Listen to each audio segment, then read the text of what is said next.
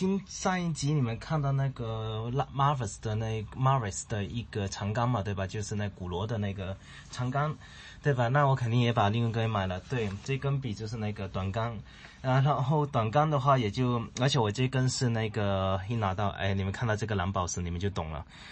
哎呀，然后看到这个位置，哎，你们也懂了。对，零八年的复刻版，这个是。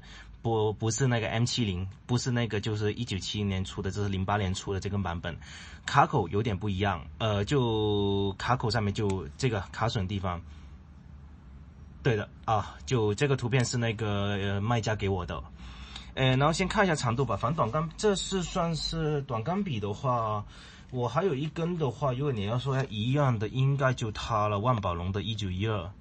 因为这根的话，当时拿的短杆就有一个把玩性我当时喜欢这个东西，我就把这个笔给买了，这样子。那这根笔太贵了，很，我建议还是买英雄吧，真的不骗你们。长度反正是一样的，对吧？呃，然后还是先量一下吧，对吧？呃，一样，呃，无印我后面会做一根标准笔，你们以后去看，你们大概也知道，对吧？看那根笔大概对比一下，你们就知道多大。然后比无印短，这肯定的嘛，对吧？因为怎么说，短杆笔嘛，是不是？短杆笔的话，呃，下来颜色上面，它整根反正还是不锈钢了，这个是肯定了。呃，另外的一个粗度，反正就跟 Marvis 是一样的一个，就是它会比 Marvis 粗一点，对吧？就比长钢，因为上次那个 Marvis 比无印还要再细一点嘛，记得的话。呃，但这个的话，你看就粗很多，但这根手感会更好一点，短杆的手感拿起来更好，而且拿起来就怎么讲，又有把玩性，又有实用性，而且一样非常轻，还是一样。跟那个无印一样，可能也是轻一半左右，但另外一个我不知道，对吧？就是那个，而且这卡损，M 七零的我没有，我就不确定，没法对比了啊。然后就反正拿起来反正还是 OK，这个卡损应该，而且它零八年应该改良了不少了。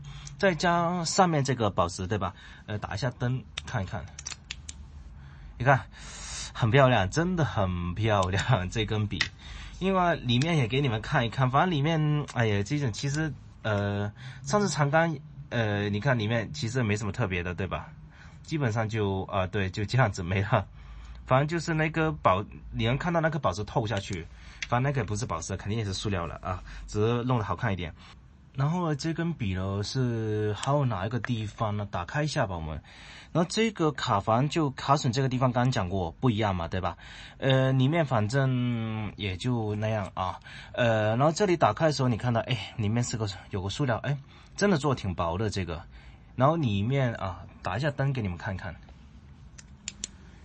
对，这所以这根笔的工艺。非常的惊艳啊！然后这个吸墨器对吧，也是框四十的，你但是看不到里面储墨量，但是我觉得储墨量是一个非常没意义的光幕上不是特别有意义的一个功能啊。然后整根所以就这样子啊，那个反正我就插着好看。那好，下一个部分，但这根笔非常的惊艳，也是一样，我并不打算上墨。然后笔舌的话啊，笔舌肯定这个不一样了，但这样笔舌呃这一体间这一体化这种美感对吧？呃，我觉得拉米两千其实也赶不上它的一个一体那种感觉，就这种感觉出来就很太精致，我觉得，而且一拿上去就是怎么讲呢，很有身份。拉米两千的一个第一个，我觉得差别在哪？它的设计感太强了。就是两千的话，两千一对比，第一个两千其实也很漂亮，但是两千。呃，怎么讲呢？它更像男生用，但这一根就不一样，这根男女就很中性啊！真的不知道怎么夸它了，真的。而且上面的这个就发射呃发散的这个对吧？就放射的一个呃放放射拉丝纹吧，那再加一点小倒角。我这个笔当时的设计师真的很厉害，我不知道是谁了。反正这根笔真的是算是我头五支最喜欢的，这肯定长杆的不一定是我前五，但这一根一定是我前五。呃，然后，但是我现在还没能选出，就是说我喜欢的前十支钢笔，这是实话，因为我喜欢的钢笔真的不多。像 Parker 的那个世纪，对吧？就那个 d o f o r t 其实我觉得挺漂亮，或者像 Waterman 的那个至尊。呃，也漂亮，很特别，但是没什么感觉，就是哈，那个不说那么多，一样沾水，然后跟无印的这根对比一下啊，但是有点不习惯，就是我每次用一定是这个。还有什么短钢笔你们有推荐的？下面留言给我一下，我不知道有什么短钢笔，就是我是说那个百乐的，因为我不太分得清楚短钢笔是一个系列还是怎么样，有一个什么 Elit，就 E L I T E L，是它是一个系列还是怎么样？反正我真不知道怎么搜索，因为我买笔大部分是在国内买的。呃，好呀，那个呃，张张墨了，啊，好紧张哎，这，你看粘了，但粗细可能有点差别啊，但大家不要介意。但是这个真的好差，而而且拿起来手感，而且怎么样？哎，这个先写一下，写一下。哇，这这笔我我我个人觉得，就怎么讲呢？我还是喜欢用硬比较硬的一个笔，就真的，我真的是喜欢用硬笔，我不太喜欢用那个软笔。然后那个写一下无印的。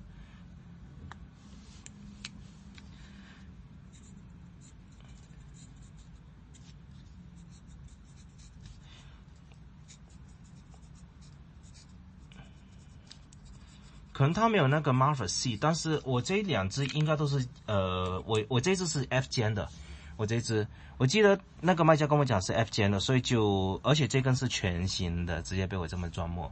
Marvel 那根不是二手的，哎，就这样子被我玷污了啊！这根笔，哎，用这个纸好像不太好啊。那个写下一个比较容易化开的字，嗯，一样那个对吧？拍，哎，每次。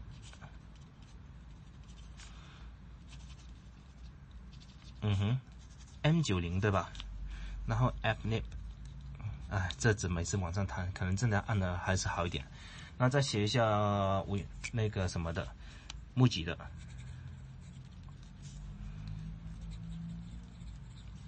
你看就 F 尖，就这这真是纸质问题，正常笔不会这样子了啊。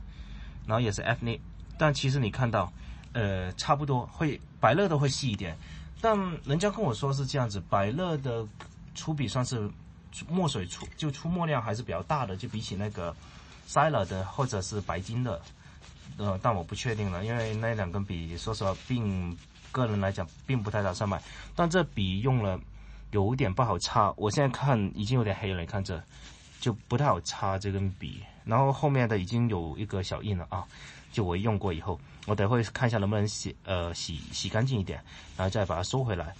呃，这样子，反正就我一开始想买一根 M 七零做备用，结果后来发现不行，这是我比较伤心的一个地方。但这个用起来，呃，个人来讲日用，我还是喜欢用钢尖。然后签字我喜欢用金尖，因为钢尖这个可能是因为这两支笔刚一写，真的感觉非常的惊艳，所以就喜欢的朋友，我觉得值得买，值得录。但是你。呃，真的买钢笔的朋友嘛，对吧？我建议是这样子，呃，你真的蛮喜欢的，你就就要买就不买那种你不打算卖的，对吧？你如果打算卖的，就千万还是不要买，因为钢笔是一个夕阳产业，对吧？如果你真的还是，我不建议你投太多钱，你还不如拿那个钱去做一些有意义的事情。然后回去刚刚那个我忘了讲的一个东西，就这个，因为是这样子，我个人习惯就之前不是说百利金的那个就那种挖挖草嘛，对吧？其实很好，对吧？我也觉得是这样子，但是日本，但是那个有一个问题，我后来发现就是说，呃，我拿一下那根笔，这根也是我比较常用的，因为日用用干净。那你看这里，我觉得是要笔身要够粗，然后这个弧度才有用。如果笔身像这种细的无印或者这类的，还是要这样子。有点弧，这样子下来会好拿捏一点，我觉得是这样子。这是最近用的一个书写感受，因为我用钢笔不到一年，呃，所以就反正就呃，我也不是一个非常那种就完全的早期那种钢笔出身，就比如说万宝龙第几代到几代，我也我也分不清，我也没没打算去理呃理解，我只觉得说呃，我一支颜值或者它的一个背后的一个 story，它的故事的一根钢笔。让我觉得喜欢，这才是我选一我买不买一根钢笔的一个理由。这样子可能表达不是很清楚啊。